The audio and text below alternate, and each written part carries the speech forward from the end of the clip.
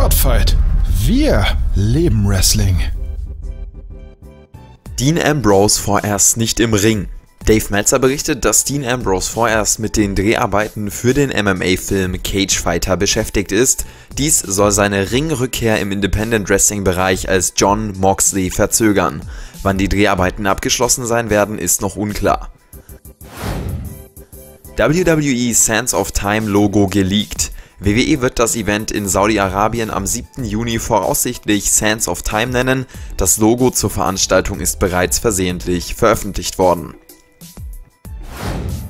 Lars Sullivan wird vorerst nicht eingesetzt. Nach der Kritik von WWE-Sponsor Snickers und den Fans an Sullivans kontroversen Kommentaren setzt WWE Sullivan vorerst nicht mehr ein.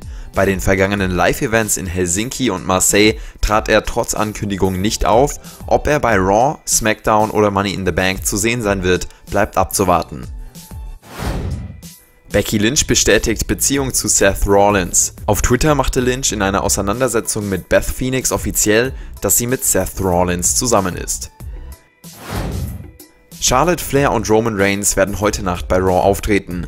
Dies gab WWE offiziell bekannt. Charlotte Flair soll in einem Double Contract Signing Segment mit Lacey Evans und Becky Lynch eingesetzt werden.